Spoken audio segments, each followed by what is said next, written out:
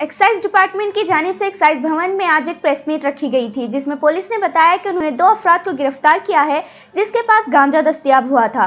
Police ने बताया कि इन सबको पकड़ने का मकसद ये है कि शहर को ड्रग्स फ्री सिटी बनाए। इन्होंने तफसीत से वाकिफ करवाया। सिटी में ये गांजा बेचने वाला last two and half month से हम लोग एक स्पेशल ड्राइव लेके एनफोर्समेंट हैदराबाद एक्साइज तरफ़ से स्पेशल ड्राइव चल रहा था।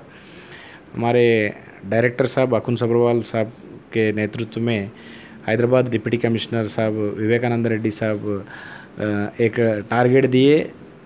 ज़्यादा से ज़्यादा ये ड्रग्स फ्री सिटी हैदराबाद ये होने के लिए अपने तरफ़ से कोशिश चलना। मैक्सिमम एफर्ट करना। इसीलिए टू एंड हाफ़ मंथ से हम लोग कोकाइन और ये ड्रग्स, सिंथेटिक ड्रग्स जो है वो सप्लाई करने वालों के ऊपर बहुत केसा भी डाले। ये बीच में धुलपेट में ये शराब बंद होने से थोड़े लोग ये गांजा बेचना शुरू करे। थोड़े फैमिलीज़ इधर शिफ्ट होके एक 50 टू 60 फैमिलीज़ ये गांजा ट्रेड में इन्वॉल्व हुआ था। उन लोगों को इमिडिएटली हमारे को धुलपेट एरिया में हर एक कार्नर पे क्या हो रहा, क्या नहीं हो रहा इंटेलिजेंस सिस्टम अच्छा रहने से हम लोग ईजी इसके ऊपर लोकल धुलपेट एक्साइज पीपल हम लोग एनफोर्समेंट मिल के उसको क्राइम कंट्रोल करने को हो गया।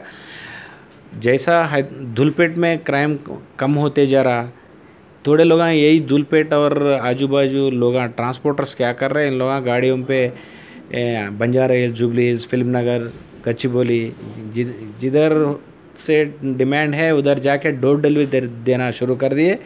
उन लोगों को हम लोग कम से कम ये महीने में कम से कम दस लोगों को ऐसा डोर डिलीवरी देने का लोगों को पकड़े। दो दिन पहले हम लोग अंबरपेट क्रॉस रोड्स के पास एक आदमी को पकड़े वेदशाही बोल के। उनको सप्लाई उनका स्टेटमेंट में उन्हें बोले मणि और जावेद एलियास अभिलाष बोल के एक आदमी उनको सप्लाई करे बोल के वो दोनों के वास्ते हम लोग निगरानी रख के वो दोनों को रात में कृष्णानगर चौरास्ते में पकड़े थे। वो दोनों के पास 7.1 किलो गांजा ग्रीन गांजा मैंगो ग्रीन गांजा ऑफ़ अरकू विशाखापट्टनम अरकू से लाए उन लोग एक मारुति स्विफ्ट कार से माल लाए थे उन लोग। वहाँ बालू बोल के एक आदमी इन लोगों को सप्लाई करे थे। इन ये एक, ग्रीन माल के संगत उन लोग कैनाबिस आयल आशीष आयल बोल के एक एक नया वेराइटी ऑफ़ एक गांजा भी वहाँ से लेके आए थे लिक्विड गांजा। एक गांजा डेरिवेटिव्स को प्रोसेस करके ये आशीष आयल बनाते। ये नॉर्मल ये गांजा से ये बहुत खतरनाक रहता है। एक three two four times additional kick आने का चांस है ये गांजा आयल से। ये सिगरेट के ऊपर गांजा जो पीने का स्मोक करने का सिगरेट के ऊपर ये, ये लिक्विड को उन लोग अप्लाई करके स्मोक करते। इन लोग फाइव हंड्रेड और one thousand rupee twenty five and fifty grams का गांजा बेचने के लिए और ten M L one thousand rupees बेचने के लिए तैयारी में थे इन लोग। कृष्णनगर चौरास्ता में इनका गाड़ी और कार और उनका होटल रूम सब चेक करके ये प्रॉपर्टी उन लोगों से सीज़ करे थे और दो सेलफोन भी इन लोगों से सीज़ करा था। ये सेलफोनों में इनके इनके पास गांजा खरीद करने वाला बहुत लोग हम लोगों को फ़ोन कर रहे थे। हम लोग वो रेड करे जब। आज जो कस्टमर्स है रेगुलरली उन लोगों के पास गांजा लेने वाला है। उसका सब इन्फॉर्मेशन अभी दरियाफ्त में लेने वाला है। वो जितने जने ये कंज्यूमर्स रहता, ये कंज्यूमर्स को भी ये केस में केस के अंदर लाने के लिए उन्हें, उनका एगेंस्ट अगर एविडेंसेस मिले तो उन लोगों को मुलजिम भी बनाने के लिए कोशिश चलता। ये जो सप्लायर्स है, उन लोगों को हम लोग करटेल कर रहे हैं, उन लोगों को पेडलर्स को पकड़ रहे मगर डिमांड जब तक डिमांड है, तब तक सप्लाई रहता है, ये इकोनॉमिक प्रिंसिपल है।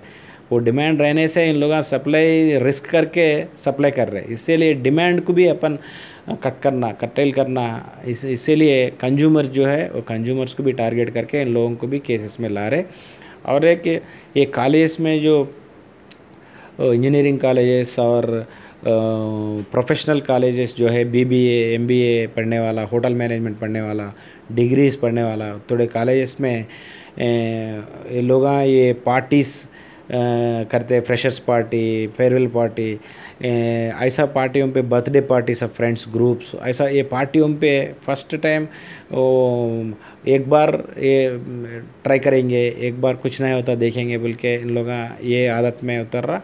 मगर एक बार उनका हाथ में एक ही बार का उनका हाथ में रहता बा, बाकी का उनका हाथ में कुछ नहीं रहता। एक बार ट्राई करने के बाद उन्हें अकेशन को उन्हें ढूंढ लेके अकेशन बनाने के बना के ये आदत को उन्हें परसू करने का उतना खतरनाक आदत है ये।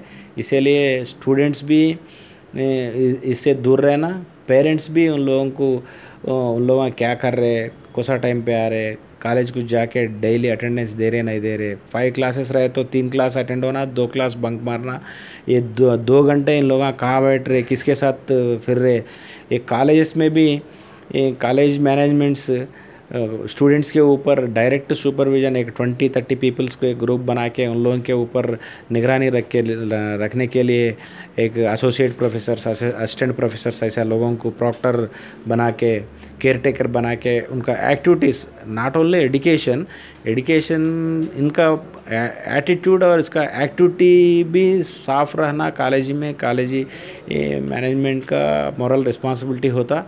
इसके लिए हमारे डायरेक्टर साहब अकुन सबरवाल सर हर एक बार कॉलेज मैनेजमेंट को यही सूचना दे रहे थे, तुम लोग अवेयरनेस कैंप्स लगाना एक्सपर्ट्स को बुला के साइकोलॉजिस्ट्स को बुला के, उनका माइंडसेट को, उसको अच्छा फ्यूचर बनाने के लिए क्या क्या प्रॉब्लम्स उन लोगों को दूर रहना, ये पूरे करना बोल के हमारे अकुन सबरवाल साहब बार बार कॉलेज को सूचना दे रहे थे। वही भी चल रहा अच्छा मैन मैनेजमेंट्स कॉलेज मैनेजमेंट्स ये, ये प्रोग्राम्स चला रहे।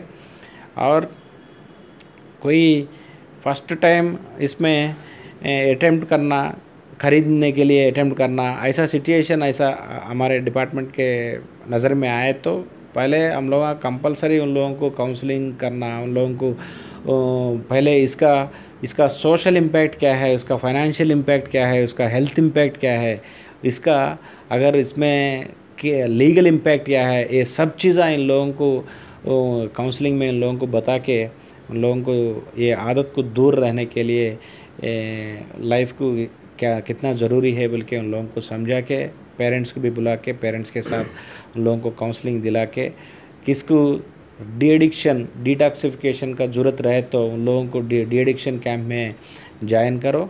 एक two weeks three weeks four weeks का प्रोग्राम में उन लोग इसको दूर रखने करने के लिए उन लोगों systematically they will the lessons and show some videos and and if medication is required they will give medicine some medicines. uh, ऐसा रिहेबिलिटेशन ज़रूरत रहे तो वो रिहेबिलिटेशन का सजेशन दे रहे। अदरवाइज़ उन लोगों को इसका इम्पैक्ट्स क्या क्या रहता है उन लोगों को समझा के स्टूडेंट्स को हम लोग काउंसलिंग देने को तैयार है।